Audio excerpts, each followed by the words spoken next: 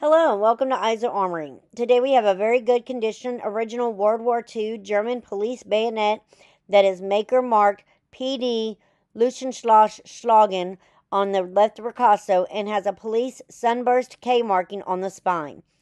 The blade has a nice original bright finish with a few small spots of flaking. The remaining metal finish is also original bright. The stag grips have no damage. The right side of it has an original police eagle. It's fitted in its original leather scabbard that has a steel throat and tip. The leather shows, shows some normal wear and stitching is mostly tight. The scabbard throat and bayonet guard have matching accountability numbers. It is also complete with the correct original brown leather frog. The leather is soft and supple with some wear and the stitching is tight.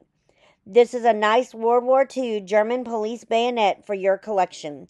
Don't forget to hit the subscribe button so you don't miss out on any of our upcoming auctions.